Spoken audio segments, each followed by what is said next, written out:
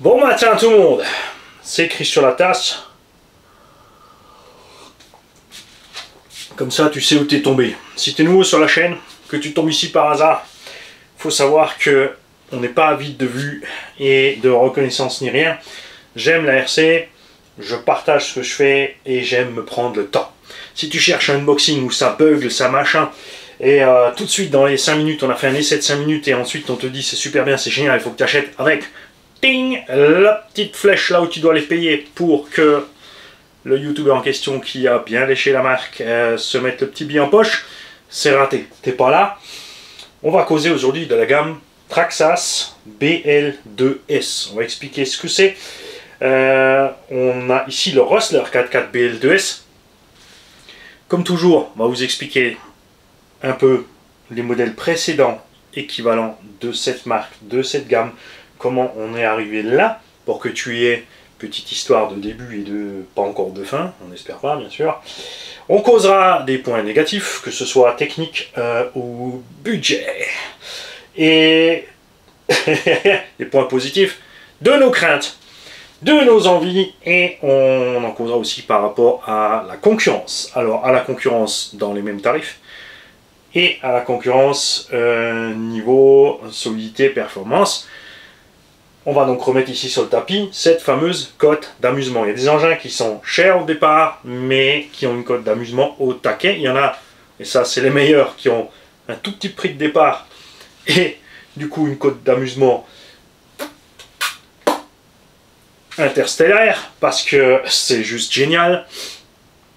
On causera de justement du budget ici qui est quand même assez conséquent de cette machine et ce que tu peux avoir pour ce même budget dans des tailles totalement différentes puisque tu peux avoir des engins beaucoup plus gros pour le même prix encore une fois on verra ici le rapport solidité machin euh, fiabilité euh, qu'est-ce que tu peux avoir en pièces tout ça tout ça d'abord avant de commencer, j'aimerais que tous mes abonnés canadiens et québécois fassent du bruit dans les commentaires.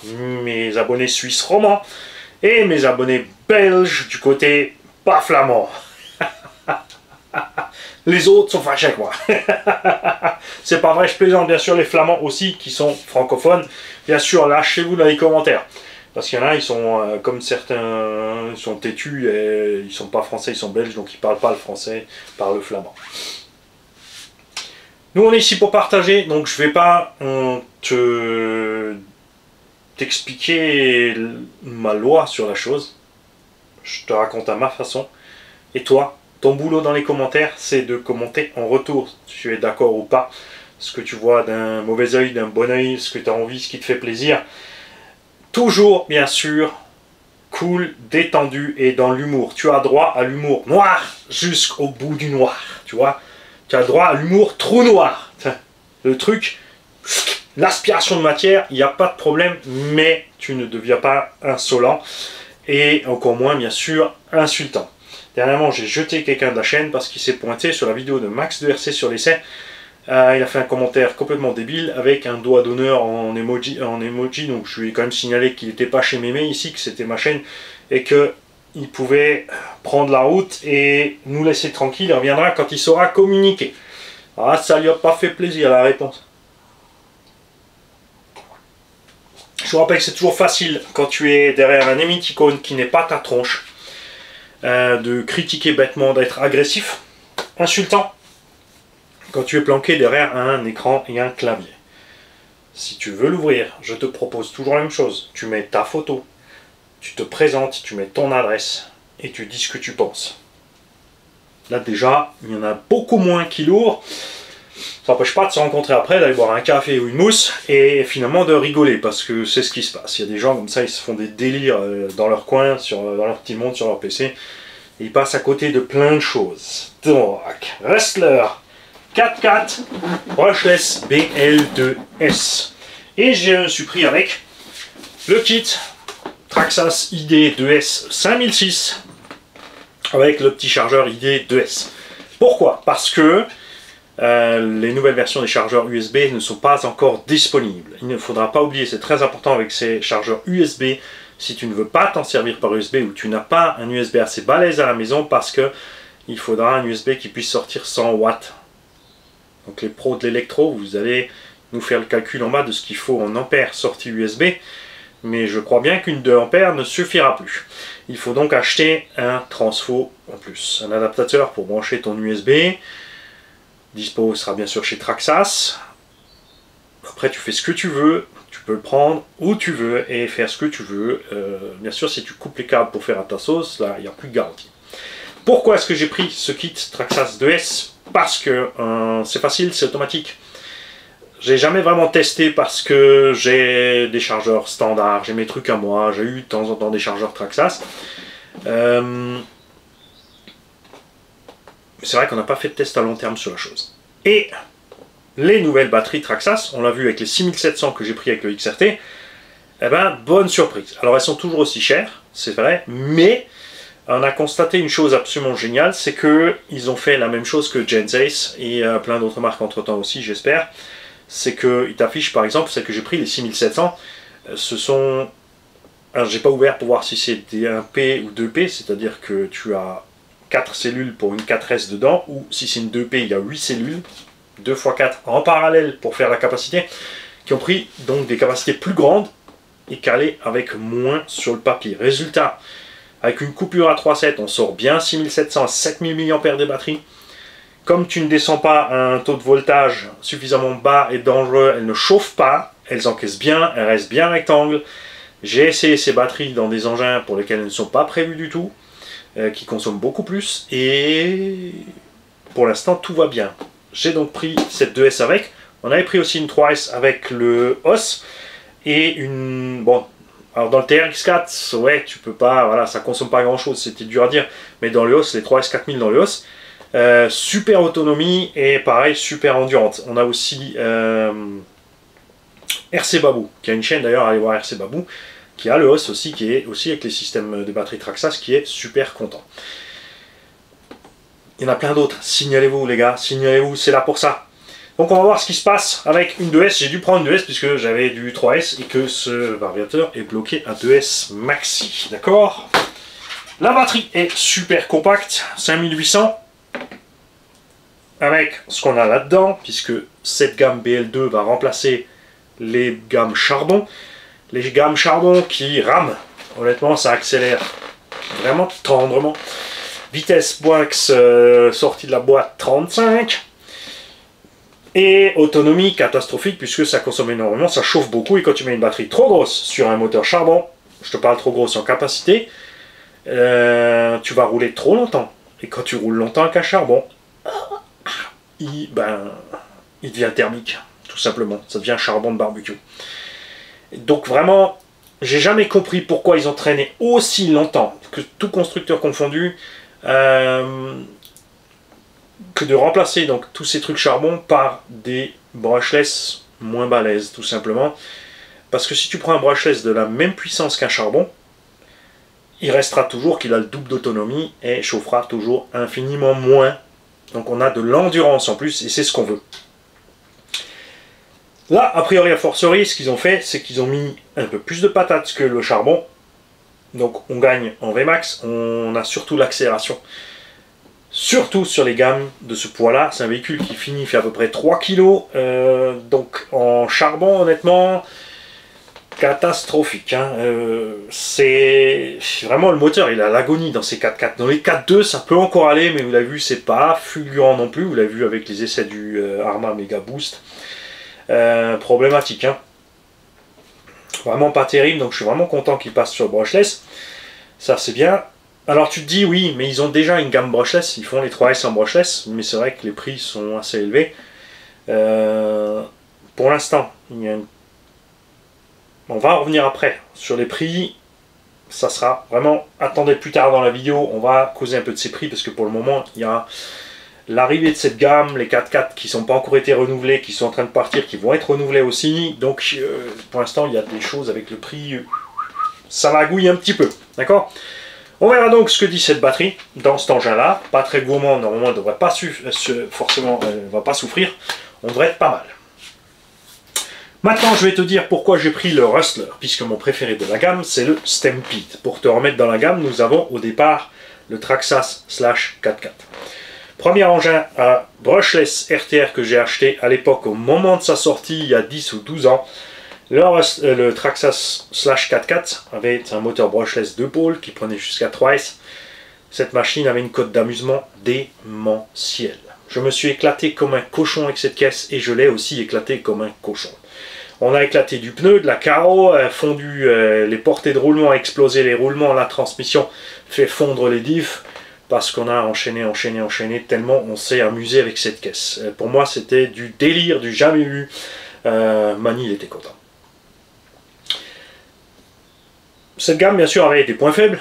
Donc, au niveau des carnes en plastique télescopiques, au niveau des roulements, la qualité des roulements, les plastiques étaient déjà pas mal pour l'époque on avait des casses sur les crashs et les trucs exagérés évidemment. Et au fur et à mesure, cette gamme s'est améliorée. Euh, les amortos ont toujours été décevants sur cette gamme. Les tiges sont tellement molles qu'on arrive à les plier à la main. Et les capuchons d'amorto arrivaient à s'arracher assez facilement. Ça, c'est quelque chose qui a évolué, pas au niveau des tiges, malheureusement, au niveau du capuchon d'amorto. À partir de la gamme OS, ils ont changé les capuchons d'amorto. La gamme OS est sortie 10 ou 12 ans après te dire le temps qu'il a fallu à Traxas pour réagir. Là, c'est cool. On a toujours ces amortos-là, donc avec les capuchons améliorés. Hmm, ça m'embête, ces amortos, parce qu'ils sont pas top. Les triangles ont évolué à partir de la gamme. Justement, Rustler 4.4 brushless qui est arrivé, et tout d'abord le OS.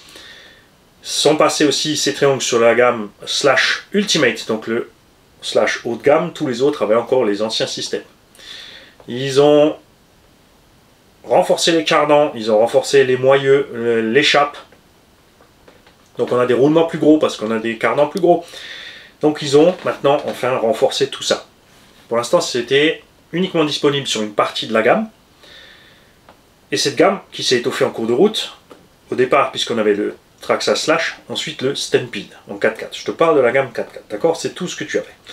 Est arrivé ensuite le OS, qui est lui équipé d'un moteur plus balèze, c'est le moteur pour moi qu'il faut dans toute la gamme. Honnêtement, c'est le moteur qu'il faut dans les brushless 3S chez Traxxas.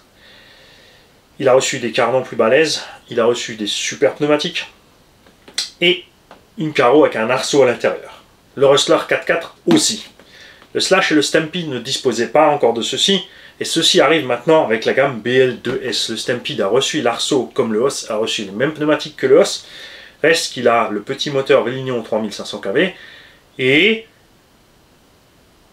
pas de diff central, puisque ni le Slash, ni le Rustler, ni le Stampede ont le diff central, seul le OS est équipé de ce diff central de série. En option sur les autres, les coûts, faut compter 50 à 70 euros pour l'upgrade euh, de ce différentiel. Il existe avec un corps plastique dans le OS, fait très bien le boulot. En option, tu trouves que celui avec le corps alu à 70 euros, ce qui est quand même conséquent au niveau prix, euh, surtout que tu, dans le os ça tient le coup. Donc pourquoi est-ce qu'il faudrait absolument le corps alu beaucoup plus cher? Ça, c'est les politiques de prix et les trucs euh, sur lesquels on n'a aucune influence, malheureusement.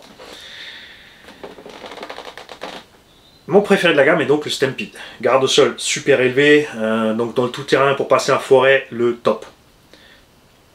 Après vient le slash, parce que j'ai recommencé la RC brushless avec ça. Grâce à lui, j'adore les SC de toute façon.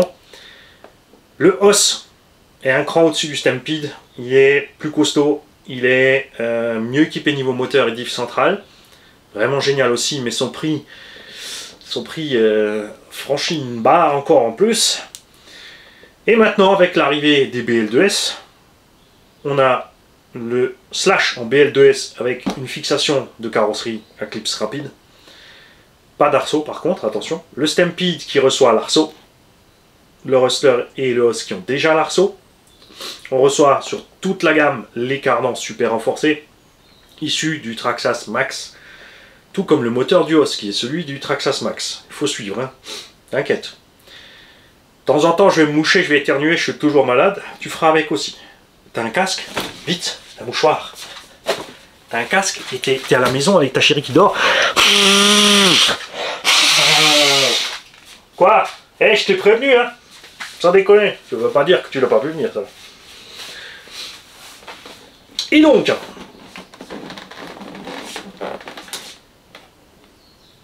ils se sont pas arrêtés là, ils ont mis les moyeux, les tourelles et les portes-fusées renforcées du Slash Ultimate. Ils ont par contre, paradoxalement, donc ici sur la version BL2, diminué la puissance par rapport au brushless. Donc on a un engin qui est plus solide sur sa base et qui est moins performant niveau moteur. On gagne donc en endurance. Mais le prix aussi gagne en niveau un peu limite perso. Ces engins-là se trouvent dans les 380 euros. Sur les boutiques, c'est toujours pareil, hein, ça va naviguer les, promotions, l'arrivée de la nouveauté, tu as peut-être des points de fidélité, etc. etc. Mais il faut compter 380 euros pour un engin comme celui-ci. Pourquoi j'ai pas pris le Stampede? Parce que je voulais pas attendre, il n'est pas encore sorti, d'abord. Et j'ai posé la question à plusieurs euh, gamins, en fait, dans l'entourage. Euh, et c'est avéré que beaucoup préfèrent le Rustler niveau esthétique. Ce nouveau Stampede aussi a reçu une carreau un peu mise à jour. Moi je préférais l'ancienne. Et il a reçu les pneus du OS qui sont excellents. Les Sledgehammer sont super bons. Mais je préférais moi personnellement les anciens pneus de la version charbon avec les gros chevrons. Alors rien n'est exclu que je vais encore me choper le Stampede quand il va sortir en BL2 avec les anciens pneumatiques. bricole un truc pour la carreau. On verra ça. Quoi qu'il en soit, la gamme Brushless 3S va avoir ces mêmes évolutions. Donc toutes les fixations rapides sur les clips, sur les quatre modèles, donc ceux qui n'étaient pas encore équipés, ceux qui sont déjà occupés, toute la transmise renforcée, les roulements plus gros dans les portes fusées, tout ça, tout ça. Mais je répète, seul le os garde d'origine le diff central il est aussi encore un poil plus cher. Le OS, il est dans les 450 euros. Il a le meilleur moteur et il a le diff central en plus. La gamme brushless du coup va aussi prendre de l'embonpoint sur le tarif puisque actuellement on trouve les BL, enfin les VXL 3S euh, non Ultimate. Attention, l'Ultimate euh, on le châssis bas et tout ça, là il faudra voir l'épisode sur le slash à ce sujet. Euh, pour, je crois, 430-450 euros. Donc pour l'instant, l'écart entre les 3S et les 2S, quand tu vas en boutique, va te paraître étrange. Mais justement, faut pas oublier que ici, tu as toute la base renforcée. Un peu malin de la part de Traxas de faire ça, pourquoi? Parce qu'ils vont te sortir les BL2 renforcés, donc si tu veux le renforcer tout de suite, et l'équiper toi-même avec ton combo plus balèze après, tu vas te jeter sur celui-là. Parce que tu vas pas prendre le 3S qui reste en boutique, euh, qui est sur l'ancienne base éventuellement. Après, il y a ceux justement qui vont pouvoir profiter de faire des bonnes affaires et de prendre la gamme 3S à plus petit prix puisque va arriver la nouvelle gamme 3S et que la 2S au niveau du prix elle talonne. Chacun ses choix. Moi perso j'étais déjà content avec euh, les versions 3S de base. Euh, il y avait donc ces petits points faibles, suspension, tu pouvais casser un triangle de suspension, j'ai jamais pété de tourelle par contre, euh, personnellement. Ce que j'aime sur le slash aussi, ça c'est un point important, par rapport au Rustler et au Slash Ultimate. On parle toujours de la gamme 4x4. Hein. Le Rustler et le Slash Ultimate ont un châssis bas, hyper plat. Le Slash Ultimate est fait pour une meilleure tenue de route, on a un châssis bas, donc c'est mieux sur circuit, c'est clair, il y a une différence. Le Slash normal est plus haut au centre, tout comme le Timasso Pro 4 SC. Et là, oui, on va s'attaquer un petit peu euh, le placement de la gamme face aux concurrents. On ne parle pas encore du tarif et des perfs. Le Stampede, qui a la garde-sol la plus élevée, l'anthrax le plus court de la gamme, c'est un truc vraiment, il franchit tout et n'importe quoi à cause de ça. Il n'a pas de concurrent direct, c'est vraiment, euh, il y a le Timasso MT10 qui est dans le même genre, mais il n'a pas la même garde-sol. Le MT10 c'est un peu le mix entre les deux, super bien placé au niveau tarif, tout comme le Pro 4 SC chez Timasso. Le os, il a aussi le châssis plus haut, et lui, il n'a pas vraiment de concurrent direct non plus. Dans cette gamme aussi, il y a Arma. Arma avec la gamme 3S. Pourquoi je ne l'ai pas cité en même temps que le Timasso Parce que la gamme Arma 3S, pour l'instant, disparu. Inconnu au bataillon, euh, plus au catalogue. On ne sait pas ce qui bricole chez Arma. On va attendre. Donc, mais tu en trouves encore certainement dans certaines boutiques ou d'occasion. Euh, dans la petite taille, donc euh, Arma, Vortex et Granite, qui sont quasiment la même taille, certaines petites différences, tu vas voir la vidéo unbox du Vortex ou du Granite pour savoir ça. À un prix moindre que les gammes Traxxas 3S et qui était plus solide. Donc vraiment, hmm, le problème pour la gamme euh, Traxxas 3S, c'était pour l'instant cette gamme Arma 3S. Maintenant, ils ont décidé d'évoluer donc sur justement euh, la solidité de l'engin. On a donc une solidité définitivement équivalente. Comme dit, c'était déjà bon. C'est juste qu'Arma, ils avaient fait un cran au-dessus. Chaque marque, que ce soit Timasso, Arma ou euh, Traxas, a ses propres solutions techniques, ses petits défauts, ses petits plus, ses petits moins. Chaque marque a fait évoluer plus ou moins ses produits sur des choses dans le bon sens, sur d'autres ils n'ont pas bougé, c'est bizarre. Et nous allons donc pouvoir tester à long terme ce Rustler 4x4. On va bien sûr le tester d'origine et ce qui m'inquiète un peu là, ce sont bien sûr un peu les performances pour du brushless. On ne sait pas si ça va être vraiment fulgurant côté mieux que charbon parce qu'on est quand même sur du modèle pour débutants, mais on n'est pas sur du débutant petit budget. Il y a des engins, donc Timasso, euh, la gamme Arma 3S, qui sont en brushless 3S, moins cher que cela. Les Timasso sont pas aussi solides, les Arma l'étaient. Certains maintenant vont placer les produits BSD Racing, FS Racing et compagnie, donc rebadgés par euh, T2M, Apsima, Navy, euh, DF Model, etc. Alors attention, Conrad, le Really New One, par exemple, fait partie de cette gamme. Existe aussi en SC, il y a juste une carrosserie de Ford Interceptor dessus, euh, d'Interceptor tout court. Euh, Death Watcher 3S, il s'appelle. Euh, tu as donc le Really New One, tu as la gamme T2M qu'on a euh, présentée chez Promodism 67. Donc allez voir la vidéo de la nouvelle gamme T2M chez Promodism 67, qui a un prix inférieur et qui est déjà livré avec batterie et chargeur. Ce qu'il faut bien prendre en compte, c'est que niveau solidité, ça n'a rien à voir avec Timasso, Traxas, Arma et quelques autres, d'accord? On va en venir aux autres après encore. ouais, ouais, ouais, faut suivre, faut suivre, ça va être long. J'espère que tu as... Moi j'ai mon café. J'ai mis mon socle à chauffer, regarde, j'ai posé mon café à côté de mon truc chaud, ça va être froid, c'est dégueu, tant pis. Oui, oui, on va te le présenter. Je veux juste te mettre... Je veux que tu saches tout. D'ailleurs, de la concurrence, euh, des des aboutissants avant qu'on te présente la machine et qu'on parle proprement dit de la machine. Cette gamme donc est inférieure en solidité. Je te conseille vivement de rester en 2S. 3S, si tu sais doser, tu peux le faire, mais il faudra prévoir quelques options. Donc cette gamme est intéressante parce qu'elle est déjà livrée donc avec l'hypo et chargeur pour 350 euros, en gros 350-380 euros. Ça fait déjà le boulot. Surtout quand c'est débutant, et là justement quand tu es petit budget, mais je te, le je te le répète encore une fois, tu feras gaffe ce que tu fais avec niveau solidité. C'est là justement qu'est la réflexion de Traxas.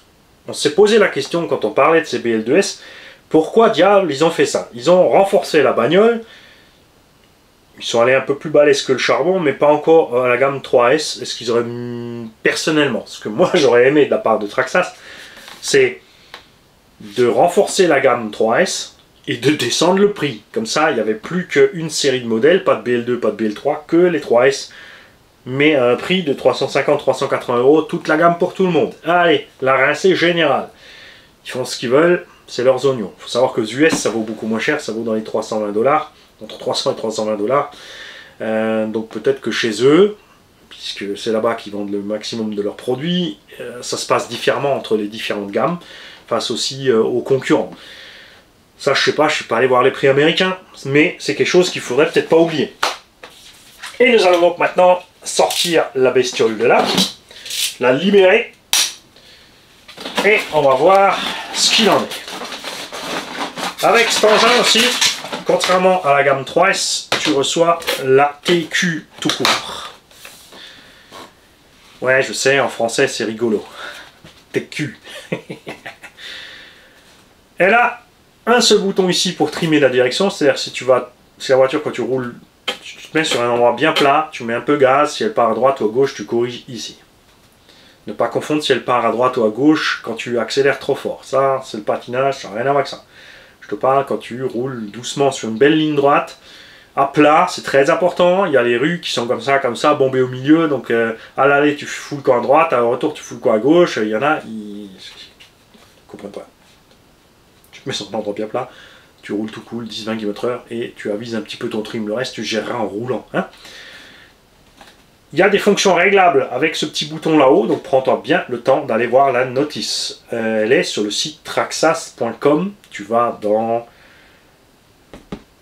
le showroom, tu vas sur Rustler 4.4, tu vas dans Downloads et là-bas tu as la notice en français téléchargeable. Il y a déjà une partie de la notice livrée avec en français, mais sur le site il y a vraiment tout. Donc tu peux régler certaines choses avec ce bouton. Cette radio peut être remplacée par la TQI, mais c'est beaucoup plus cher. La TQI est livrée sur la gamme 3S, elle dispose de beaucoup plus de réglages, euh, d'un bouton multifonction et de la possibilité de mettre un module Bluetooth pour relier à ton téléphone pour accéder encore plus de choses. La télémétrie, les machins, les bidules, vraiment beaucoup plus poussé, totalement inutile pour moi, ça, euh, bah, ça me suffit en fait. J'ai pas besoin de plus puisque tous les trucs de geek, le système de stabilisation électronique, euh, la télémétrie, tout ça, je m'en fiche. Moi je préfère que la voiture soit moins chère ou si elle est au même prix qu'elle ait des choses mécaniques en plus que de l'électronique en plus. Moi, ce que je veux, c'est gaz, frein, virage, et euh, le reste, c'est moi qui gère.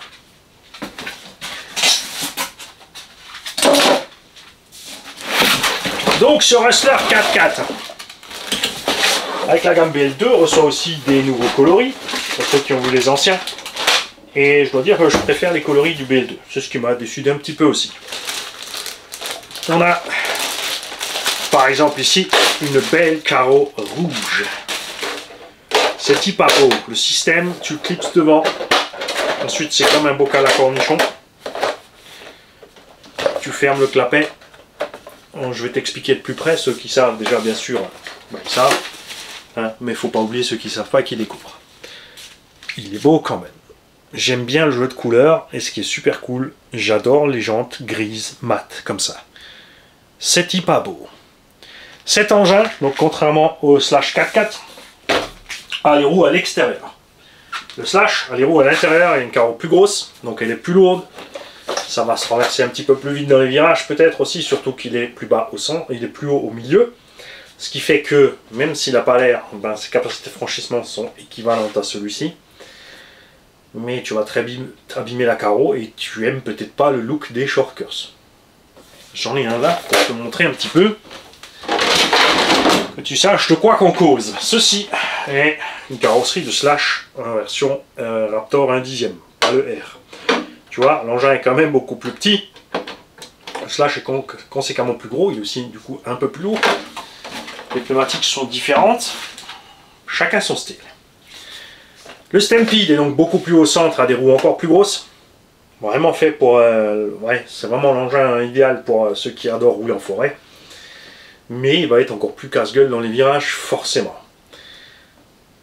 Celui-là, il est bas, il a un centre de gravité bas, il est très simple à conduire. Ça sera le plus simple des trois. Je parle pas du os parce que le os euh, ne sortira pas en BL2, je pense. Ils vont, ils, ont, ils vont garder le Stampede dans la gamme BL2. Je sais pas s'ils vont garder Stampede dans la gamme 3S par contre, VXL, ou s'ils vont garder uniquement le os. Parce qu'il est vraiment au niveau tarif, le os, euh, euh, on est vraiment beaucoup plus haut. Donc on a un engin tout choupinou. Regarde-moi ça. Châssis complètement plat. Et la pensée de Traxas a été tournée vers les utilisations modernes de ces engins. Par le passé, il y a quelque chose qu'on ne faisait pas avec ces engins. C'était skatepark, pump track et des courses euh, en ville, tout simplement. La plupart du temps, on roulait les engins dans les prairies, dans les petits parcs, sur circuit pour ceux qui avaient la possibilité. Maintenant se multiplient donc les skateparks, les pump tracks, euh, ce genre de choses, et on a de plus en plus d'utilisateurs sur ce genre d'endroits qui présentent des risques donc conséquents pour les engins parce que c'est beaucoup plus dur, il y a beaucoup plus d'obstacles, euh, coins en béton, poteaux métalliques, etc., etc., etc. Arma avait très bien compris ça, donc quand ils ont lancé leur gamme 3S, ils sont partis tout de suite dans ce délire-là. Traxxas, eux, étaient restés encore sur les modèles avant. Maintenant, ils ont décidé de mettre les bouchées doubles et ils ont renforcé la plateforme. Je vais t'expliquer tout ce qui a changé. Pour ça, je vais t'enlever la carreau. Tu vois qu'il y a son petit arceau dedans. Alors, la carreau est toujours pas super solide chez Traxas. Parce que c'est vrai que c'est bien de mettre des arceaux et tout. Bon, ça pèse son petit poids. Mais ça protège vraiment énormément quand tu vas envoyer, quand tu, tombes sur le toit ou quand tu fais du rouler boulet. C'est vrai que ça protège à mort. Là où tu vas toujours arracher ta carreau, c'est ici sur les côtés, là à l'arrière. Hein. Ça, c'est fatal. Euh, d'un côté, c'est bien, ces arceaux. De l'autre côté, j'ai du mal à comprendre pourquoi ils s'obstinent à ne pas faire des carreaux de 2 mm d'épaisseur tout de suite sortis de la boîte. Parce que du Lexan 2 mm, même un peu plus, serait tout aussi résistant et surtout aussi résistant sur les parties fragiles ici où on va les amocher. Hein. la forme t'aime ou pas, les couleurs t'aiment ou pas. Je suis pas un grand fan de la forme du Rustler, pourtant là avec ces couleurs, ça change tout pour moi. Ce que j'ai envie de faire, c'est de lui raboter les petites pointes là. ça, ça a été fait aussi calculé en fait pour permettre à l'engin de retourner plus vite sur ses roues. Certains engins de la gamme Traxas ont un retournement automatique, ce qu'ils appellent, donc tu as une petite touche à appuyer, l'engin met gaz, frein tout seul à gogo jusqu'à ce qu'il se retrouve sur les roues. Ne, te sers pas de ce truc. N'utilise pas ce truc-là. Tu vides tes lipos, tu claques ta transmis, tu fais chauffer, fais les 20 mètres, va chercher ta caisse. Honnêtement, c'est plus simple. D'accord? Sans compter que tu ballonnes sans arrêt tes pneus et donc tu vas euh, aussi endommager ça. Ce qui a été renforcé, donc, ce sont les tourelles. Même s'il n'y avait pas besoin. Et elles ont été modifiées puisque sur l'ancienne gamme Traxas, il y avait ici un patin avec les plots de carreaux. La nouvelle gamme a reçu donc les sabots pour glisser dedans et n'avait pas ces trous-là. Maintenant, ils ont fait l'ensemble, puisque le slash a son système de fixation rapide vissé par-dessus, tout simplement. Donc ils ont fait une tourelle commune à toutes les bases, comme ça, quoi qu'il arrive, t'es tranquille. Ils ont renforcé ceci, qui s'appelle la chape. La chape est une pièce qui porte une autre pièce. La chape tient le porte-fusée, c'est la pièce qui est derrière la roue ici. Je vais t'enlever une roue. Et on va causer ici d'un point important en... Oh la vache, ils ont... ah bah ils ont pas rigolé pour serrage. La vache. Oh bah adieu. Bah ça là on va pas les perdre. Hein.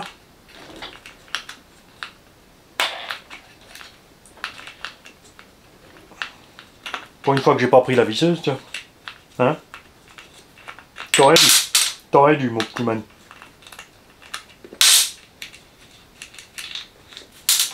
Ok. Ouh Tiens, une petite surprise de plus. Tu as reçu donc la chape, le porte-fusée renforcé, hexagone en alu, avant c'était en plastoc. Ceci est la fusée en mécanique. En mécanique RC, par contre, bizarrement, ils ont appelé ceci la fusée. Donc tu feras attention quand tu cherches tes pièces. Et ceci, ils ont appelé ça la noix côté roue. Moi, pas comprendre, mais c'est pas grave, tant que tu sais de quoi tu causes. Donc de ce côté-là, maintenant, tu es tranquille parce qu'il arrivait de péter un triangle, bon, sur un crash. Le plastique était quand même déjà bon. Et t'es arrivé, moi ça m'est arrivé rarement quand même de péter ces pièces ça pétait parce que les roulements euh, dedans ils grippaient, c'est pas vraiment les premiers roulements Traxa, c'était pas de bonne qualité. Il y avait très peu de billes dedans, donc on cassait très vite les roulements, ça chauffait, ça faisait fondre la portée et c'était mini la même merde. Ok? Donc tout ceci a été renforcé. Avec le temps, la gamme a reçu aussi des couronnes de diff plus balèzes. Les toutes premières étaient relativement fragiles. Dans le slash, ça tenait bien, mais c'était les mêmes que dans le Erevo 1. Et dans le Erevo 1, ça tenait pas, dans le Summit non plus. Ils ont ensuite renforcé pour le Erevo brushless, et ils ont répercuté ça sur le reste de la gamme. Sur les gammes 3S, ces pièces, donc les tirants supérieurs, les tirants de direction, sont réglables. Ici, ils sont en plastique.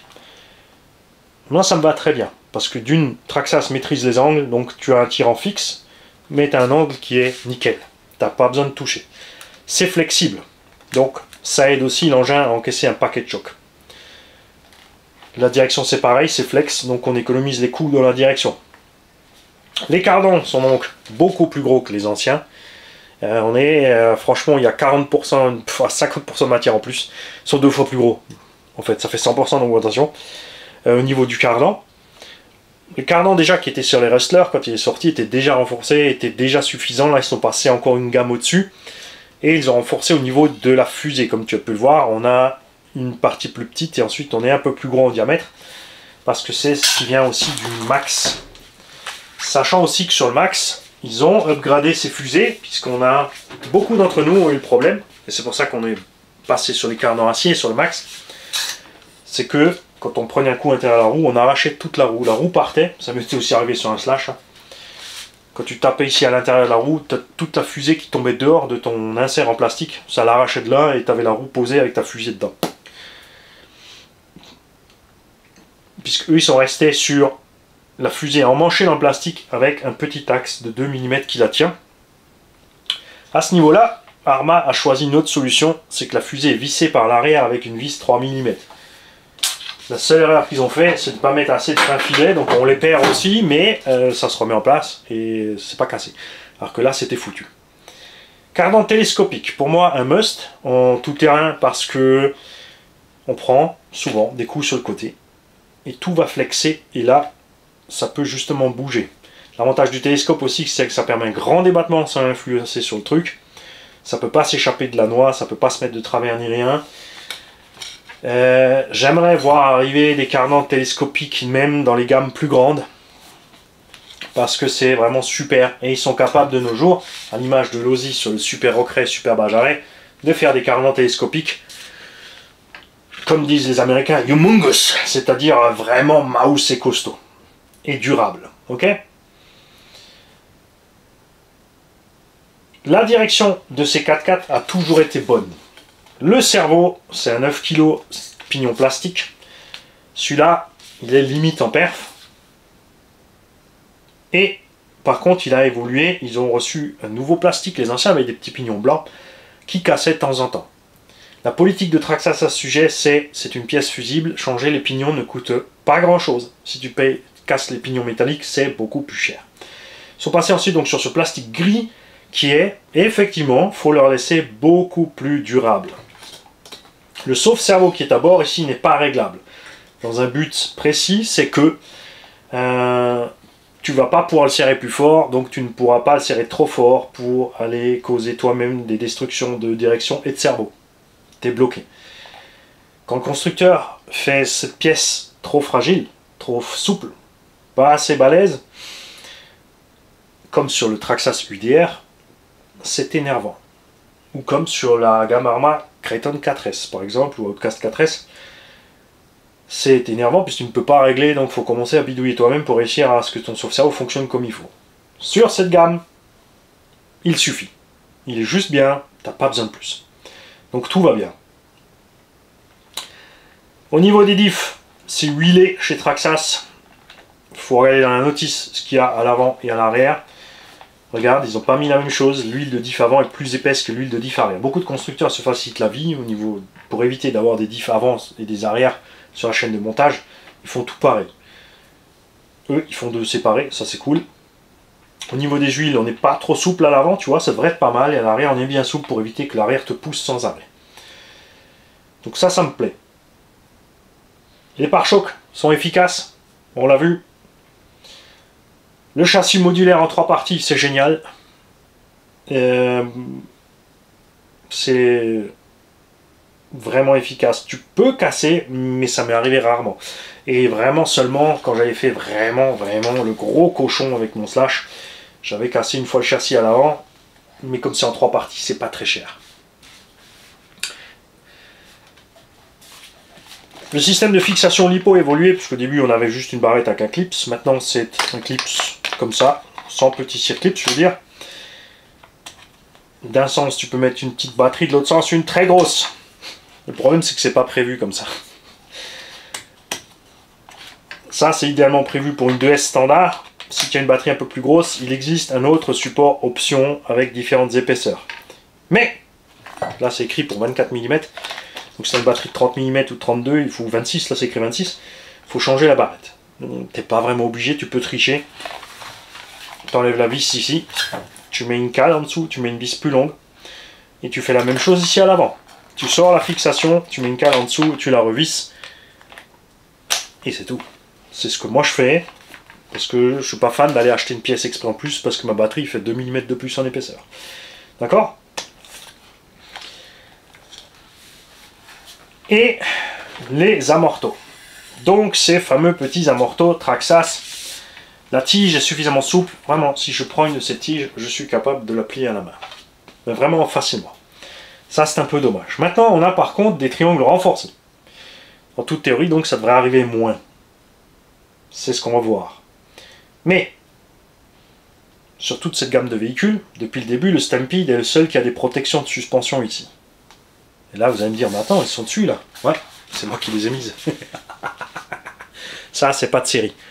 Ça vient du Traxas Stampede. Je ne te donnerai pas la référence. Tu vas sur le site traxas.com, tu vas sur Stampede, tu vas sur Downloads, tu vas sur le PDF et tu regardes les références. Pour l'arrière, je t'explique, il faudra couper un petit bout. Les amortos sont très exposés, ils sont montés devant le triangle. Beaucoup de constructeurs font ça, c'est pareil, je ne comprends pas pourquoi ils s'obstinent à faire ça. Ils dépassent complètement, et quand tu es comme ça en train de tourner, un obstacle arrive, c'est là, une pierre en bas, va heurter en plein dedans, et tu vas plier ta tige. Sur les gros crash, bien sûr, le triangle flex. Alors le cardan, justement, il flex, ça, ça flex, ça, ça flex mais ça, ça flex que dalle et tu plies ta tige. Alors sur le terrain, tu paniques pas, tu peux le refaire vite fait à la main et tu peux repartir. Mais ça m'ennuie au tarif où est vendue la machine. Là, les concurrents ont tous fait mieux. Euh, Timasso a fait mieux, Arma a fait beaucoup mieux. Euh, et le petit dernier, on en causera après. Donc ça, c'est un peu dommage. J'ai donc moi monté les protections de suspension du Stampede. Tu peux les monter sur toute la gamme, c'est pas un problème, que ce soit le Slash, le Rustler, Stampede et le Os. Enfin, Stampede c'était dessus. Maintenant, sur le BL2, sur le nouveau Stampede, ils seront pas dessus. Donc je sais pas s'ils vont continuer à les fabriquer, mais c'est pas la mort puisque tu peux les choper chez Remo Hobby sur AliExpress. P2051. Il n'y a qu'une sorte, il n'y a, a, pas d'avant et d'arrière. Euh, chez Traxxas, il y a un avant et un arrière. Mais ça, c'est pas un problème. Parce que pour l'installer sur ce châssis LCG, donc Load Center of Gravity, donc châssis bas, puisqu'il n'y a pas beaucoup de place ici, tout ce que tu dois faire, c'est couper l'arrière. Voilà. J'ai coupé l'arrière, résultat, ça passe, ça touche pas. Et on est bien. Tu noteras aussi que la cellule arrière est plus haute que le milieu du châssis, mais ça, ça permet à l'engin, quand tu es en plein axel, d'avoir le cul qui reste relativement haut du sol par rapport aussi à l'avant pour être équivalent.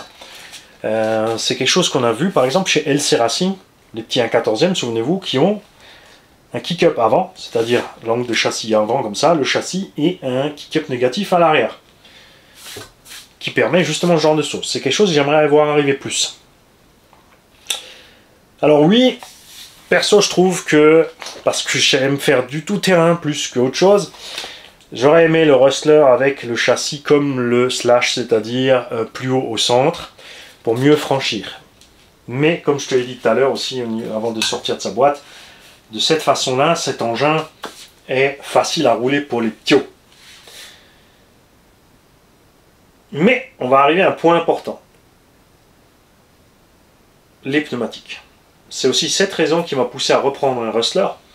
C'est que de toute la gamme, c'est celui qui avait les pires pneumatiques. Mais pourquoi t'en as pris un?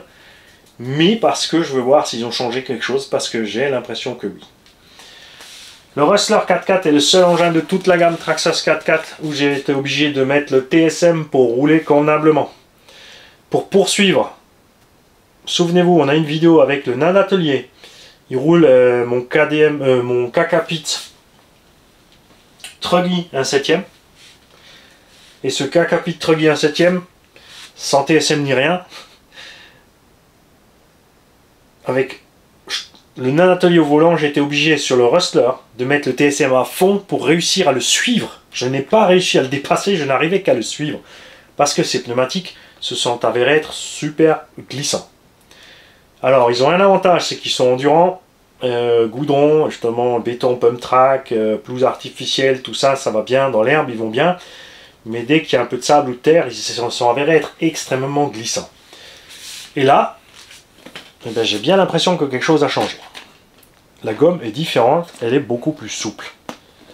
Nous verrons donc ça en roulant. On essaiera aussi au pire de les inverser hein, pour avoir euh, ça de ce sens comme un crochet, si c'est pas le cas. Ça me ferait vraiment plaisir qu'ils aient changé ça, parce que c'est dommage d'avoir l'engin de la gamme qui est le plus adapté pour les débutants et ceux qui ont du mal à rouler, qui se retrouve avec les pires des pneumatiques. Mine de rien. N'est-ce pas? C'est dommage.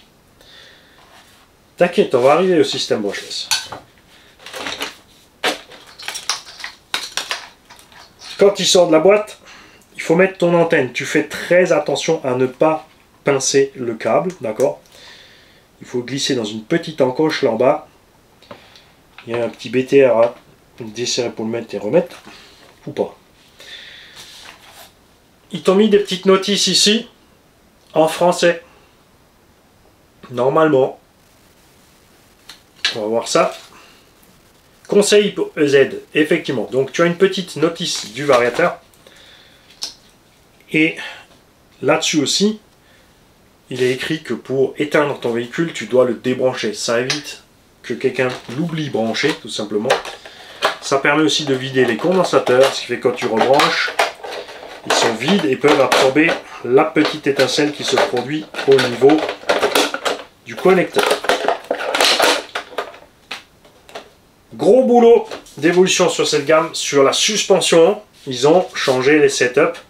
Sorti la boîte, les premières versions, on n'était pas super content et là, on est hyper méga crémeux. On est vraiment comme j'adore avoir les suspensions sur mes TT, exactement ce que j'ai fait aussi sur le KDM Successor 10. Je te causais d'un concurrent en plus. C'est lui.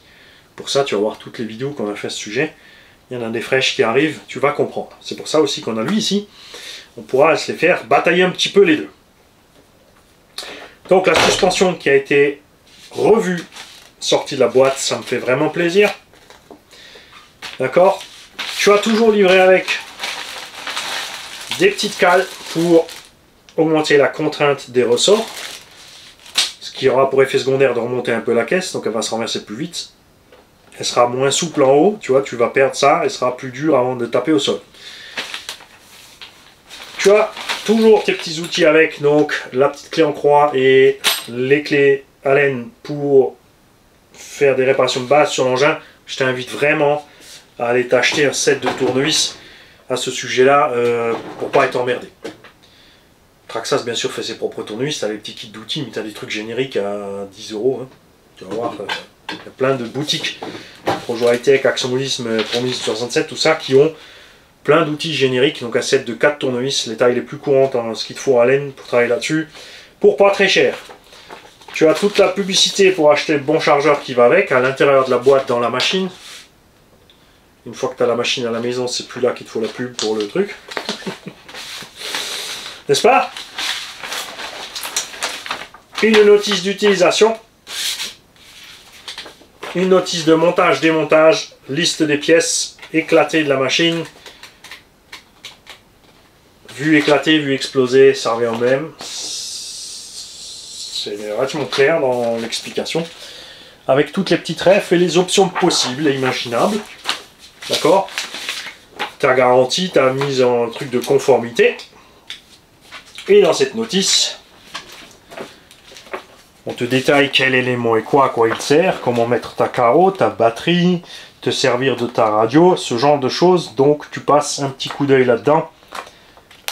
Et c'est appauvri un petit peu, parce qu'avant on te parlait encore d'étagement de transmission, des réglages de cabrage, enfin d'angle de, de chasse, de carrossage, de, pincement, tout ça, c'est dommage. J'aimais bien. Euh, là-dedans, c'est pas expliqué du tout non plus, tu as vraiment juste l'éclaté pour les pièces.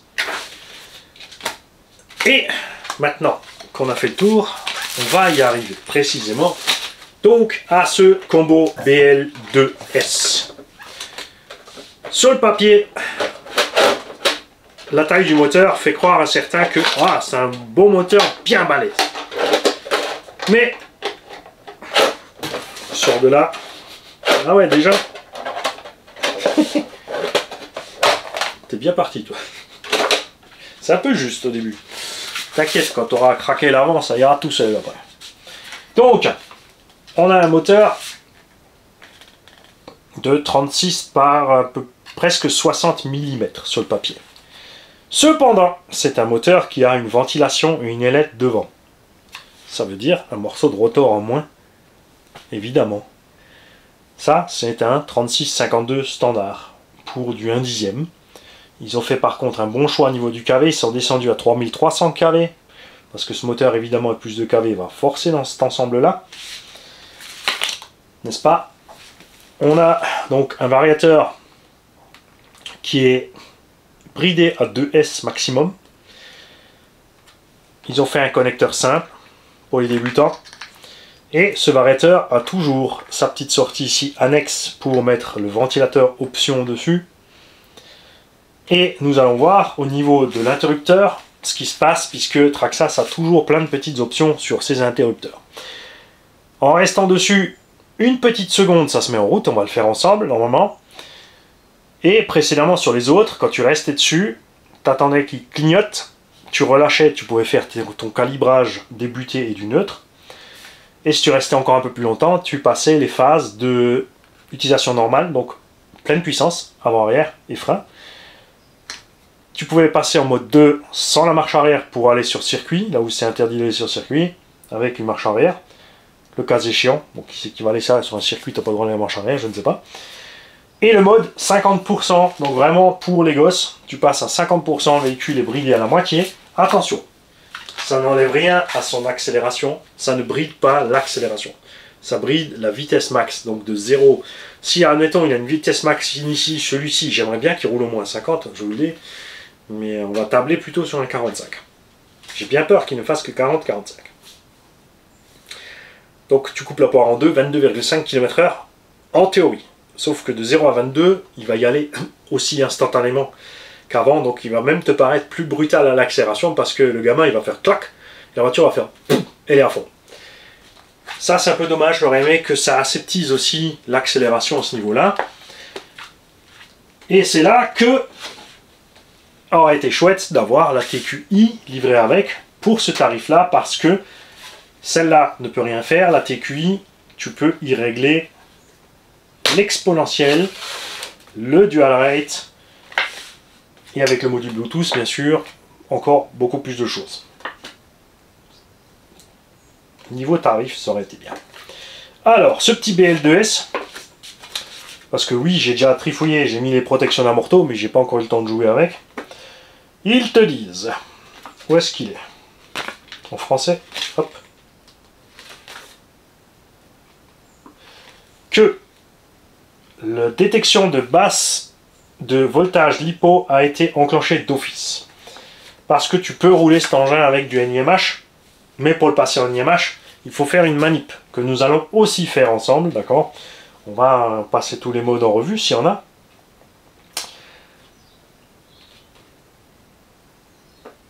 il y a effectivement le, profil standard, le mode course et le mode d'entraînement. N'oubliez pas que sur les TRX4, donc sur les crawlers, il y a 5 modes, pas 3.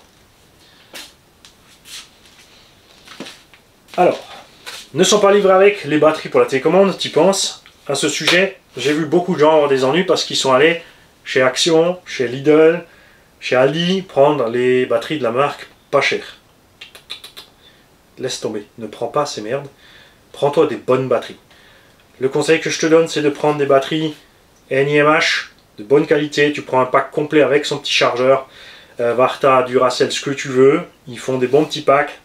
Des batteries 2500 mAh. Tu es tranquille pour l'année. D'accord? Si tu as un doute, quand même, n'hésite pas, de temps en temps, à recharger tes batteries. Si tu as des batteries NIMH, je te conseille de laisser ta batterie au moment où tu décides de la recharger parce que tu te dis je ne vais pas attendre d'être en panne sur le terrain avec. Tu allumes ta radio et tu la laisses allumer jusqu'à ce que le voyant soit éteint. Ça peut durer. Ça, sont en fin de vie, ça durera la nuit. Si elles sont chargées, si ça des 2005, ça peut durer 2-3 jours, tu ne t'inquiètes pas. Et tu, en tout cas, il faut vider les batteries NMH comme il faut pour les recharger comme il faut. C'est moins sensible au niveau des batteries de télécommande. Je le fais pas systématiquement, mais une fois, une fois l'année, je vide mes batteries NMH de mes télécommandes à fond et je les recharge à bloc. D'accord? Comme ça, je suis tranquille. On va donc mettre la petite batterie Traxas à bord avec son connecteur spécifique. Tu fais toujours attention à ce que tu fais avec le câble. Prends-toi le temps, trouve-toi un chemin de câble où le câble ne puisse pas aller frotter sur une pièce en mouvement, puisqu'ici au milieu on a un arbre de transmission. On va y venir, vous inquiétez pas, à cet arbre de transmission. Et puisque je t'ai dit dans la vidéo qu'on parlera aussi des choix qu'on trouve étranges. Donc déjà je trouve étrange qu'ils aient fait exprès un nouveau système brushless au lieu de simplement vendre que les 3S à des prix plus sympas. Bon ça c'est un choix qui m'arrangeait moi, forcément pas eux. N'est-ce pas? Cet engin, contrairement au brushless, a un arbre de transmission plastique. Ça peut paraître étrange, mais c'est suffisant en 2S. C'est suffisant sur le charbon aussi, bien évidemment. Ce machin-là tient le coup et surtout c'est flexible. Ça peut se tordre aussi, ça peut encaisser du twist quand ça bug. Ça flex tranquille quand châssis flex. Bref, c'est couillon et c'est durable et c'est pas cher à remplacer. Si tu passes bien sûr sur un moteur plus balèze, il faudra passer sur la pièce en alu et ne pas oublier le petit cavalier devant, puisque cette pièce plastique est une seule pièce jusque devant. Si tu passes sur le tube alu, tu te retrouves avec deux pièces. Tu as ton tube alu extrudé et ton petit cavalier devant. Donc pense bien à acheter les deux. Il y a des pièces aussi chez les euh, constructeurs annexes, enfin optionneurs, les optionneurs qui seront peut-être moins chers que de prendre les deux pièces d'origine. Tu fais ce que tu veux. Pour l'entredent, tu as des positions ici. D'office, il y a un pignon 12. Tu peux mettre encore un plus petit et tu peux mettre un plus gros. Le plus gros, c'est toujours pareil, tu vas aller plus vite, tu vas chauffer plus, tu vas rouler moins longtemps. Comme c'est un petit moteur en 3652, je ne sais pas encore, j'ai commandé les pignons, on testera ça, ce qui va se passer avec le pignon plus gros. Je pense personnellement, point de vue VMAX, ça sera plus intéressant avec le pignon de la taille au-dessus, et que ça devrait... Ça va peut-être pas trop influencer sur la température moteur et la chauffe, à voir. Évidemment. Possible par contre qu'avec le pignon plus gros, on soit obligé d'office de mettre le ventilo sur le vario. Pourquoi ils ne le mettent pas d'office? Parce que c'est pour débutants et plus les petits ventilos, ben ils ont des soucis des fois. Hein. Tu les bloques, tu les casses, euh, etc. Donc je m'interroge sur le choix global de ce qu'ils ont fait. Euh, avec ce choix, c'est vrai qu'on aurait aimé tout de suite le tube alu parce qu'on a ici la pleine transmission du brushless. Sur la version charbon, on n'a pas la pleine transmission brushless, il faut encore changer une pièce là-dedans, ce qui n'est pas le cas ici. Donc tout ce qui manque, c'est le tube et le moteur plus balèze. Les versions brushless donc, auront les réglages ici, comme dit, qui ne servent pas à grand chose, honnêtement, ces petites pièces plastiques sont très bien. Elles font le taf. Et je m'interroge sur le choix de la ventile. Ça évite bien sûr de mettre, comme je l'ai dit, une clampe en plus avec un dissipateur et un ventilo en plus qui peut tomber en panne. Mais je m'interroge parce que je me dis qu'à un moment donné, quelque chose va passer là-dedans. C'est ce qui arrive aussi sur les charbons. va bloquer la petite turbine ici, elle va fondre à l'intérieur et ça va poser un problème au moteur. Ça, tu vois, on verra à l'essai. Mais je me pose la question parce que bien sûr, les roues avant, même si c'est bien fermé, peuvent quand même projeter des petits graviers et du sable à l'intérieur. À ce sujet aussi, ça aussi ça a évolué sur cette gamme Traxas, puisque dans le temps, les tout premiers Slash avaient la transmis très près du châssis, du part aussi le châssis plus haut au centre. Et on avait des problèmes avec les débris qui se mettaient entre la pièce ici en rotation et euh, le moteur et autres. Donc ils ont fabriqué un petit cache. Sur ces modèles-là, il n'y a pas besoin puisque le tube est plus haut, donc il faut vraiment qu'il y ait un, vraiment un gros caillou qui reste dedans. La meilleure solution de ce côté-là, c'est chez Timasso qui a fait un tube en dessous avec un cache séparément en dessous. Déjà, il n'y a quasi rien qui rentre et rien ne peut se mettre entre le tube et le moteur. tu vois, de ce côté-là, c'est eux qui ont une solution que je préfère. Arma a fait un truc à peu près similaire. Alors, avant qu'on attaque les modes du Vario, on va revenir globalement sur les points négatifs pour moi, les plus ou moins, et les points positifs. Donc, point négatif, le prix. Pour l'instant. On verra quand on aura essayé s'il est vraiment solide comme il promet et que finalement il est durable et durable et durable et que ton gamin il roule l'année sans rien changer, la cote d'amusement, et eh ben, elle remonte aussi. Donc le prix, le cerveau qui est un peu mou du genou, le tube plastique au centre, c'est plus un plus moins. Enfin, stop. Avec le prix et le cerveau, les amortos. Donc le prix, les amortos, le cerveau, et ensuite dans les plus-moins, le tube. D'accord? Cette histoire de ventile du moteur, on va voir. Je ne sais pas trop. Hein?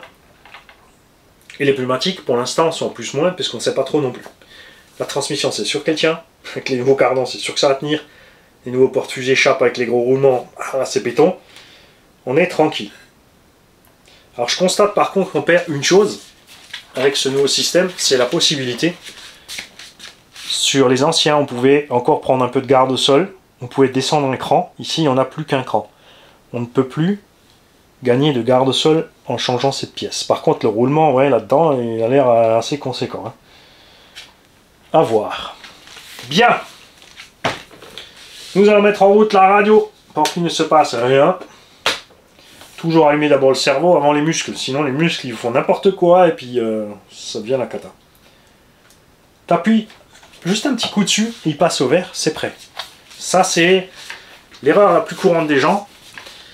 Les pannes que j'ai souvent, des gens qui me disent j'ai acheté le Traxas 9, je le mets en route, ça clignote, ça va pas, il n'arrive pas à démarrer. Parce qu'ils sont restés trop longtemps dessus, ils sont passés dans le mode de programmation du neutre. Ensuite, ils ont joué avec la gâchette, ça a enregistré n'importe quelle position de neutre. Et résultat, ça ne fonctionne pas. Direction donc. Poussive. Suffira bien sûr avec les performances du véhicule. Et niveau des gaz, très doux à bas régime.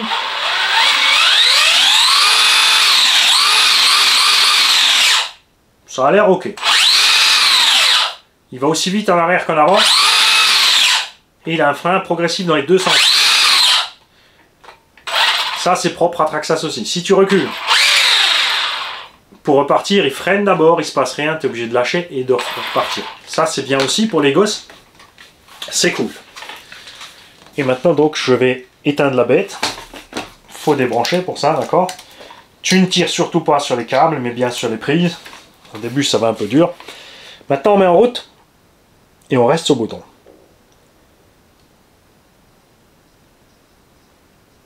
Et il ne se passe plus rien. Pourquoi, je ne sais pas encore. voilà, là il est passé en mode NIMH. Alors le son était funky. Là, on vient de passer en mode NIMH. Voyons, rouge allumé. Donc là, si tu as une lipose, ça va pas aller. Hein. Il va pas comprendre. Et l'inverse aussi. Ah si, tu peux l'éteindre avec ça. Oh, ça, c'est marrant maintenant. Tu vois, hop, il repasse au truc. Tu peux l'éteindre par l'interrupteur. Ça, c'est marrant. Ok. Donc on va rester dessus, nouveau, on va attendre.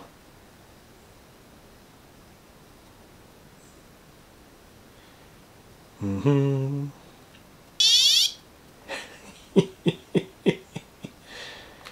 Alors, il passe très vite, tu vois. Enfin, il faut un peu de temps pour passer du mode NIMH au mode lipo. Par contre, maintenant, moi, ce qui me manque, ce sont les modes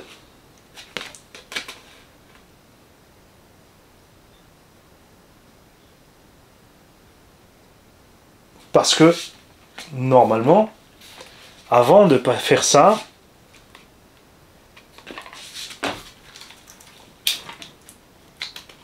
hmm, si maintenant, normalement, je l'allume et je reste dessus, il est censé passer mes modes. Ah, voilà. C'était mauvaise manip de ma part. Donc là, il est passé dans son mode normal. C'est pas ce qu'on voulait.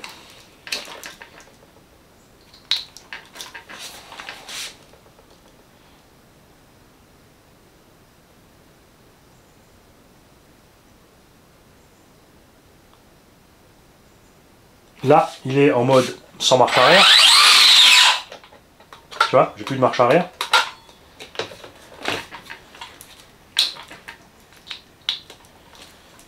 Et maintenant, on va aller au petit 3.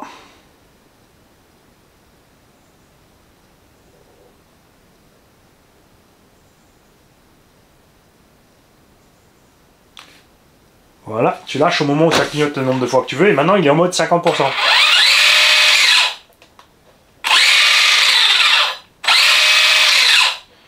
Et là, il est, ouais, franchement, là par contre, il est super doux pour un gamin. Mais tu as constaté, la course des gaz en général est plus longue que la course de marche arrière, ce qui fait qu'en marche arrière, il est plus brutal. Il y en a plein qui se font avec ça parce que dès qu'il touche, tu vois là, si je mets moitié, je suis mi-gaz, mais là, t'es déjà la même course en marche arrière, c'est quasiment plein gaz. Donc les engins sont très brutals en marche arrière. Jean et Ambu Blanc, comme ça, ils ont des problèmes avec ça. Hop, je suis repassé en mode normal. Ce qu'on n'a pas donc sur celui-là, il faudra voir la notice de plus près, c'est le calibrage. Peut-être qu'ils ont viré le calibrage pour éviter les soucis que je t'ai mentionné tout à l'heure.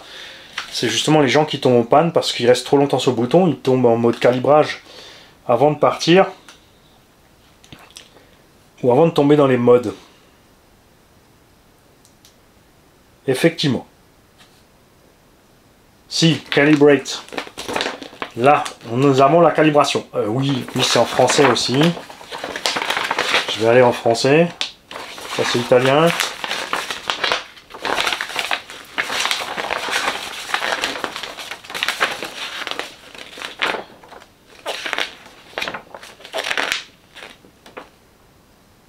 Bien.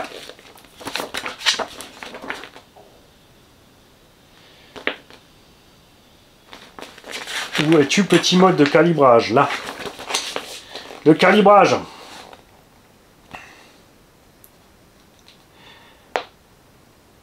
Il faut le faire avant les choix de mode. Tu as vu les choix de mode que j'ai fait là pour faire le calibrage, il faut lâcher juste avant. Et ensuite tu rentres dans le mode de calibrage. On va essayer de le faire ensemble parce que là moi j'ai loupé, hein, connement. C'est au partir moment dès qu'il devient rouge en fait. Non parce que là il est allumé.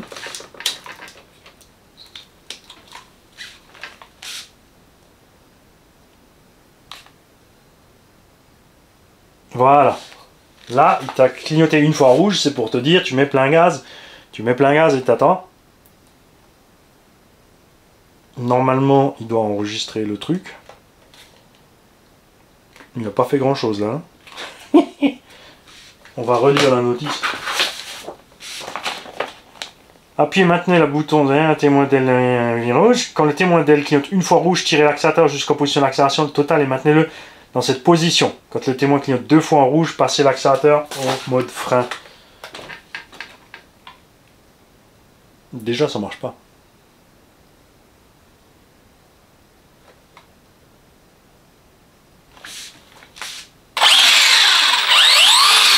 Si, c'est bon. J'ai pas fait gaffe, il a clignoté. Donc ça va très vite. Ce que je veux te dire, c'est justement ça. C'est quand tu mets en route, ne te fais pas piéger. Pour mettre en route, c'est tout. Si tu appuies un peu plus longtemps, tu vas tomber dans ce mode de calibrage et tu vas décalibrer ton truc et ça ne marchera plus bien du tout. D'accord? T'y penses, hein Pour éteindre, vraiment, des branches. De toute façon, c'est écrit dessus. Euh, tu as pu constater qu'on peut l'éteindre toujours par l'interrupteur maintenant, mais des branches. C'est beaucoup plus simple. Pas de batterie à charger à bord. Pour rester tranquille.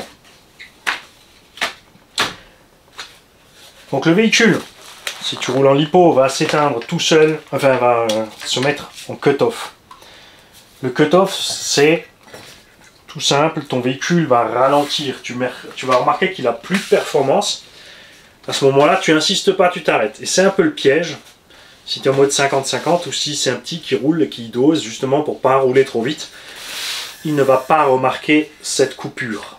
Donc il y a une deuxième sécurité, le véhicule s'arrête totalement. On verra l'utilisation si, tout comme les nouvelles générations de VXL 8 et 6 et 4, ils ont monté la coupure à 3.7. Dans le temps, elle était très basse à 3.2. Maintenant, ils l'ont monté à 3.7. Donc à aucun moment ta lipo sera trop chaude. Tu la sors de là, tu vas sur ton chargeur. Il faut savoir qu'une lipo, a moins de résistance à chaud, elle charge donc mieux à chaud et la charge refroidit la lipo. Hein? Sauf bien sûr si tu charges à 50 ampères. Mais si elle chauffe, c'est un problème aussi. Donc le chargeur automatique Traxas, c'est pour ça que je l'ai pris aussi, puisque pour faire un pack débutant complet.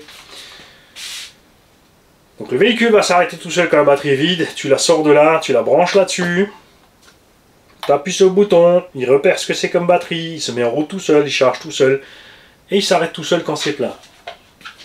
Vraiment, ce côté-là, il n'y a rien à faire. Tu peux choisir si tu as du NIMH ou autre chose sur le chargeur. Tu as une petite touche pour basculer d'un à l'autre. Tu peux choisir ton mode de charge, mais par défaut, il est sur équilibrage. Donc tu branches ta lipoïdée ici. Tout est automatique. Tu restes juste sur le bouton et tu mets en route. Tu peux sectionner ici ton taux de charge. Tout fonctionne sur les mêmes LED, hein, donc tu ne te fais pas avoir. Quand tu vas mettre ta lipo dessus, il va repérer ce que c'est. Il va mettre en charge, il va commencer doucement, il va monter les niveaux. Ce même niveau de charge est aussi l'indication de puissance. Donc quand tu appuies ici, ce n'est plus le niveau de charge, mais l'indication de puissance qui va s'afficher. Donc tu choisis 1, 2, 3 ou 4 ampères. Celui-ci peut sortir 4 ampères. Une batterie du type 5800 va être chargée en gros une heure et demie. Si c'est une 4000, elle sera prête en une heure. Si c'est une 7006, il faudra encore plus longtemps, d'accord? Tu n'es pas obligé donc de charger systématiquement à fond la puissance du chargeur. Moi, généralement, je charge 1 ou 2 ampères, je laisse faire, tranquille. Tu n'hésites pas à acheter un sac par feu pour ta lipo. De ce type-là, tu demanderas ça à ta boutique préférée quand tu vas chercher ta machine. Tu laisses la lipo dedans pour la charge, tu la laisses dedans pour le transport, tu la mets à bord du véhicule, tu roules, tu la sors, tu la mets dedans, tu rentres avec, tu branches. Prends-toi le temps. Pour ces petites sécurités, c'est pas grand chose. Même si la technologie s'améliore, c'est de plus en plus sûr, il suffit d'une petite boulette quelque part au niveau de la fabrication de la lipo, au niveau des câbles que tu as sectionnés quand tu as roulé, pour que ça soit un problème. Tout type de batterie, tout type de carburant. Source de puissance égale source de danger. C'est pas compliqué. Cherche pas de midi à 14. Le soleil aussi te crame la gueule. C'est une grosse source de puissance. Donc tu fais gaffe à ça. Et on va revenir à un point très important, qui est aussi un choix un peu étrange pour moi, justement sur les véhicules débutants. Ce véhicule est équipé d'un slipper. Le slipper, tu vas voir le coin du débutant, épisode le slipper, je t'explique exactement ce que c'est. C'est une vidéo qui a un certain âge maintenant, mais elle est toujours d'actualité. Et les explications, comme toujours, sur cette chaîne sont faites de façon à ce que tout le monde comprenne. On ne cherche pas les mots techniques, même s'il y en a un, on va te l'expliquer. On va partir sur un mot plus simple dans l'utilisation pour l'explication. Et je crois que ça fonctionne bien. Pour l'instant, tout le monde il est content. Cette pièce est une pièce qui va protéger la transmission du comportement brutal du pilote sur le moteur ou quand justement tu vas sauter, ton véhicule va décoller du sol, toi tu vas rester sur les gaz, ce qui n'est pas une bonne idée. Tes roues vont mouliner à fond, tu vas taper par terre. À ce moment-là, cette pièce va patiner et empêcher les chocs au moteur. Cette pièce peut être réglée de façon aussi à améliorer mieux la motricité au sol. Elle va patiner un petit peu au démarrage pour favoriser la montée en régime du moteur, éviter les roues de riper. Mais c'est un réglage un peu... C'est pas complexe, mais il faut s'y habituer. Si c'est trop desserré, ça siffle, ça chauffe, ça fume, c'est la panne. Si c'est trop serré, tu n'as pas de protection. C'est le problème de beaucoup d'engins d'entrée de gamme, justement. Ils n'ont pas cette protection. Ils n'ont ni slipper, ni diff central. Et là, c'est Mimi Rara la merde. N'achetez pas un véhicule qui n'a pas une des deux choses à bord. Honnêtement, laissez tomber. Un véhicule qui n'a ni slipper au centre ou ni différentiel central pour débuter, je te le déconseille vraiment parce que ça tourne toujours au vinaigre. C'est fait si tu roules seulement dans le sable, sur les parties glissantes, mais à un moment ou un autre tu vas être au goudron, à un moment ou un autre tu vas être dans l'herbe sèche qui a du grip de fou et ça va partir en cacahuète. J'aurais préféré qu'il y ait un troisième diff à bord de série là-dessus, parce qu'il n'y a ni réglage à faire et rien à observer de particulier. Il y a bien sûr l'entretien à faire, ça on en posera dans les épisodes après les runs. Mais de base, donc faites attention à cette chose. Allez voir vraiment mon coin, la playlist, le coin du débutant, et tu vas voir l'épisode sur le slipper. Vraiment important, si tu ne comprends pas, tu ne sais pas ce que c'est. Il y a plein d'autres chaînes aussi. Si tu trouves des autres chaînes qui ont fait l'explication, n'hésite pas. Tu me dis, attention, je t'envoie un lien pour partager. Je trouve que cette vidéo est super bien faite. Et euh, c'est telle et telle chaîne. Et on va partager cette vidéo. D'accord? Je ne suis pas en concurrence avec... Il n'y a aucune chaîne avec laquelle je suis en concurrence, tout simplement. Il y a des chaînes qu'on aime plus que d'autres, mais c'est pas parce qu'il y a même une chaîne que j'aime pas que s'il a fait un truc bien, on va pas le partager. Bien sûr, si c'est tordu, on va pas le partager. Utiliser de l'acide pour nettoyer les diffs, ce genre de choses, on ne partagera pas cette façon de faire parce que c'est complètement faux. Ok Maintenant, moi, j'ai plus qu'à aller l'essayer.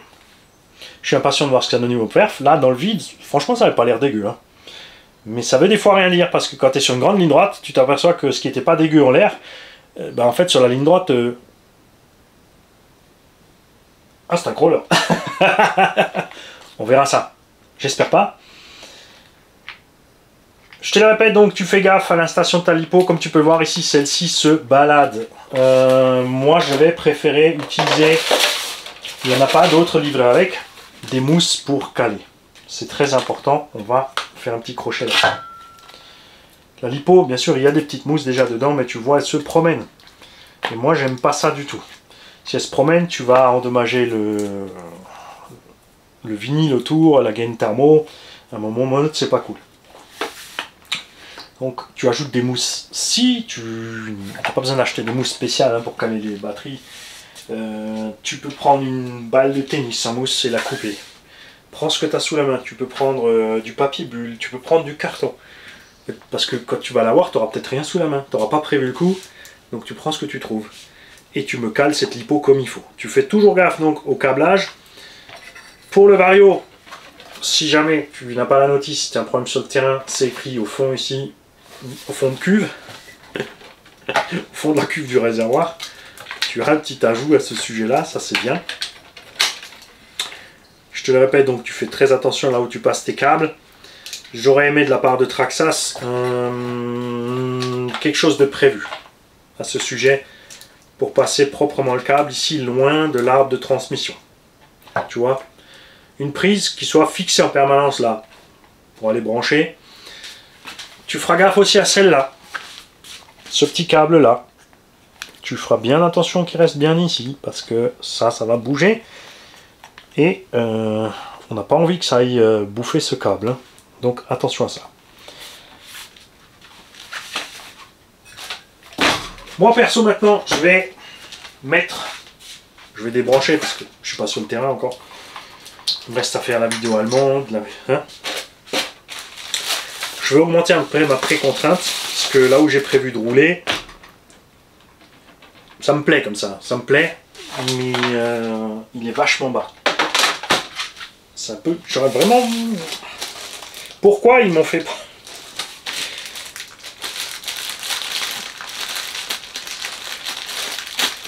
Moi, je préfère le Stampede. Mais il faut que j'attende qu'il sorte. Alors, je le prendrai très certainement en 3S directement. Enfin, quoi que non, puisque de toute façon, moi, ce que j'ai envie de faire, c'est d'y mettre le moteur du os. ah, il n'y a pas le diff non plus, merde. Alors, achète ta os. Ouais, mais le os, c'est pas le Stampede. Ok, là on est beaucoup plus ferme.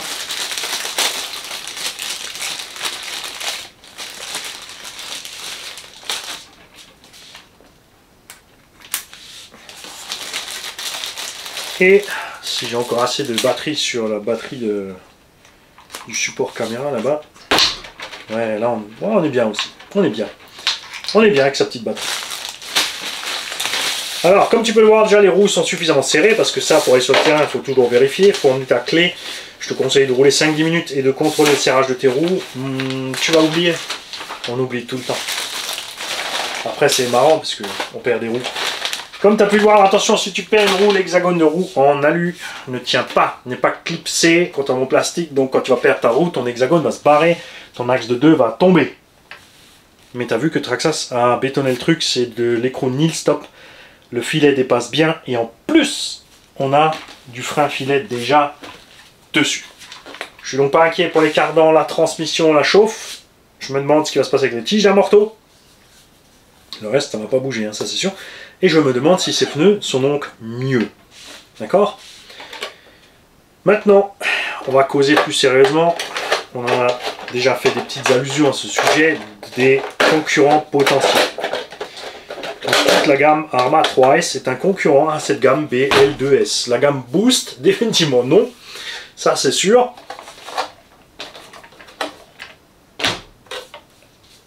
Et nous avons aussi KDM Successor 10 RT, qui est un poil plus gros, un anthrax un peu plus long, les pneumatiques aussi sont un peu plus massives,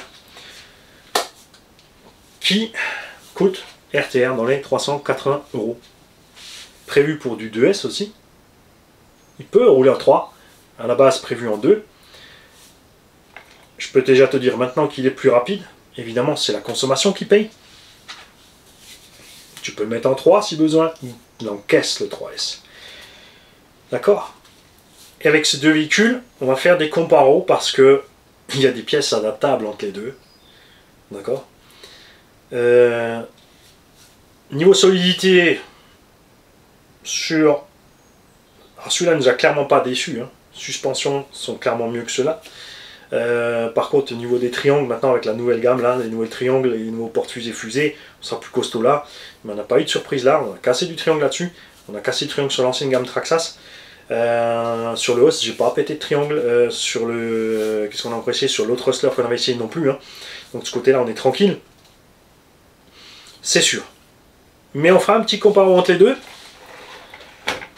L'avantage toujours de Traxas, c'est là-dessus qui compte, c'est qu'ils ont très bien compris que plus tu as de concessionnaires, plus tu as de garagistes de ta marque, plus facilement tu vas vendre parce que les gens voient plus souvent ta marque et ont plein d'endroits où ils peuvent trouver les pièces et le SAV pour t'aider. Et c'est là où Traxas sont forts, ils sont répandus partout.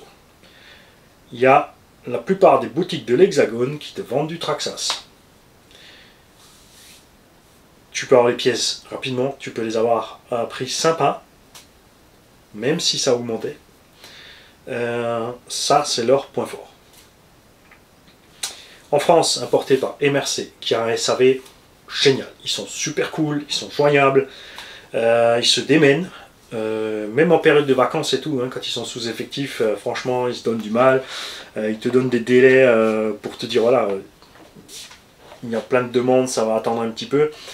La garantie chez Traxas, ça fonctionne à merveille. Tu as un vario qui crame, tu contactes ta boutique, tu poses le vario, ça va relativement vite.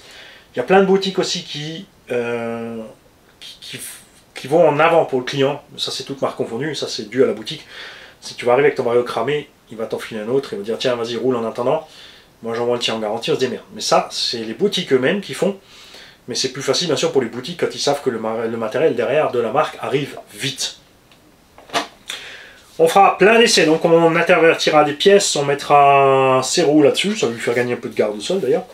Du coup, euh, et c'est quoi? Et eh ben on sera au même point, je pense, avec ces roues là. On va voir le comportement de ces roues, celles-là sont absolument excellentes, je les adore. Euh, dans la gamme Arma 3S, les roues du Vortex, du Granit sont super aussi, d'accord? Attention là-bas c'est des Exat 14, là on est tout en Exat 12. Euh, dans la gamme Timasso, il n'y a que le Pro 4 SC, ils n'ont pas fait de petit truggy, dommage. Et ils ont pas fait. Ils ont fait juste le petit monster, donc le MT10, qui a cette taille-là aussi. Euh, comme dit, la gamme, tout ce qui est rebadgé chez euh, tous les rebadgers, c'est un cran en dessous. Mais si tu pars sur du 2S, eh ben, ça peut s'en sortir aussi. Même niveau endurance. Puisque même les bas de gamme se sont améliorés, tout doucement, mais sûrement. Et euh, ça commence à chauffer pour les grosses marques. Ils ont juste, comme Nike, Adidas, les grosses marques de bagnoles et de tout ce que tu veux, leur notoriété en avant. Nous verrons donc cela dans les tests un peu plus poussés. Et on va se faire plaisir. Je prédis aucune casse, sauf peut-être de la tige d'amorto qui va se plier. Sauf s'ils ont changé les tiges sans prévenir. C'est sûr que c'est pas moi qui vais vous prévenir. Hein. On est insignifiant en France. Nous verrons donc ça. Pour le reste, ça va tenir aussi. On verra ce qui se passe avec le moteur et ses ventilations. On va le tester bien sûr euh, dans l'herbe, la terre, le sable. Et le pire des endroits pour terre, c'est le gravier. Vous avez vu que la gamme AMA 3 et 4S dans le gravier n'est pas passée du tout. On a eu panne sur panne sur panne. Euh, notamment au niveau de la direction et au niveau d'usinage des pièces de transmission. Euh, la gamme Traxas, dans le gravier, pour l'instant, elle s'en est toujours sortie. Alors pourquoi ça devrait être différent? Parce que les cardans sont plus gros. Cardans plus gros, moins de place. Si quelque chose se coince dedans, je ne sais pas encore ce qui va se passer. On va voir ça. Quoique les triangles sont bien échancrés, il y a vraiment beaucoup de place. Ça devrait aller. Lui aussi s'en est très bien sorti dans les graviers. Euh, la gamme Timasso s'en est très bien sortie aussi. Et euh, à un moment ou un autre, je vais quand même sûrement tester cette petite gamme rebadgée par T2M. On la prendra en T2M pour le SAV pratique chez, euh, chez nos boutiques, chez nous. Puis c'est parce que ben, pour beaucoup de petits Français, quand ils vont aller chez Jouer Club, ils vont tomber sur T2M. D'ailleurs, à ce sujet, je vais voir chez T2M, chez Jouer Club, à côté, la Sirens, si cette nouvelle gamme T2M n'est pas disponible chez eux aussi directement. Parce que là aussi c'est pareil, ils prennent l'avantage sur la fourniture et la rapidité d'avoir les pièces. On verra ce qu'il en est niveau tarif aussi, pièces de rechange, tout ce genre de choses. Donc ceux qui ont déjà testé cette gamme T2M, Fred Fred, tout ça, tu me tiens au courant, est-ce que tu as vu quelque chose pour les pièces, est-ce que tu as déjà fait ton comparo, euh, les gars, partagez, hein. n'hésitez pas. Si vous avez qu'une de toutes ces machines, donnez-nous ce que vous savez sur cette machine. Si vous avez bien sûr déjà plusieurs de ces machines, comme moi, n'hésitez pas. Donnez-nous toutes les infos, les gars. On veut des news de ces bécanes. J'aurais bien aimé aller le rouler d'abord. Mais comme dit, si je vais rouler tout de suite, il y a une partie des questions qu'on se pose, qu'on je n'aurais pas posé en vidéo. Euh, j'aurais pas su ce que vous vous posez comme question. Donc ça, ça me fait plaisir. Je vais découvrir ça dans les commentaires, quand je vais lire les commentaires de cette vidéo, le dimanche soir tranquillement. Ensuite, on fera un essai, on verra ce qui se passe sur les essais. On en fera 2, 3, 10, 15, 20, 50. On causera ultérieurement aussi de l'accès mécanique. On va décortiquer la bécane, mais on le fera, puisque le setup est bon sorti de la boîte, il n'y a pas besoin d'ouvrir, on le fera après les essais. Ou en 4 4 Mais là, je te le répète, franchement, mon avis, on n'aura aucun pépin. J'espère vraiment que les pneumatiques sont meilleurs, puisque sur l'autre, sans TSM, c'était vraiment pas facile de le rouler. C'est roulable évidemment, mais tu vois, pas face aux concurrents qui étaient vraiment beaucoup plus agréables à rouler. Donc on verra ce qui se passe. Les gars, je vous souhaite un bon dimanche. J'espère que vous n'êtes pas devant l'écran, qu'il fait beau, que vous êtes deux en train de profiter, de rouler. Euh, puisqu'on est ici sur la RC, hein, bien sûr. Si tu tranquille avec ta petite amie, profite aussi. Mais nous, on parle de RC, donc j'espère que tu es en train de rouler. Et euh, le reste ne nous regarde pas. et j'espère vous voir ce soir, quand vous serez en train de nettoyer vos RC, de les dépoussiérer, de les huiler, sans avoir cassé, après avoir passé 2-3 heures de pur bonheur à rouler vos pièces, quelles qu'elles soient, et quel que soit le prix qu'elles aient coûté. Ça c'est très important aussi. Je suis pas ici pour te dire ouais c'est les plus chers mais c'est les meilleurs. Euh, il y a des, comme dit, il y a des bécanes pas chères à 100 balles qui font le boulot. Le tout c'est de trouver la bonne pour toi. Ceux qui se sont déjà décidés, qui en ont déjà acheté, qui sont déjà en train de rouler avec, pareil, hein, dans les coms, les gars, vous me dites, ouais, j'ai pas attendu ton unbox, je depuis une semaine, je m'éclate, ou euh, je suis énervé, j'ai ci, j'ai ça. On veut tout savoir. Tous les commentaires sont les bienvenus tant qu'ils sont respectueux. Et mes préférés, je te le répète, je t'ai dit au début, mais je te le redis encore une fois, humour noir et sarcasme sont bienvenus. Attention, parce que moi je taquine derrière aussi. Hein. Il y en a plein qui pourront te dire, hein, Pater C36, tout ça, Ziggy, euh, tout ça. On se cherche, on se cherche, mais qu'est-ce qu'on s'éclate? On est pire que des gosses. Euh, j'y vais. Je vais m'arrêter parce que la vidéo va durer 12 heures après. Salut les gars. C'est pas le bon bouton, Mani, t'es encore là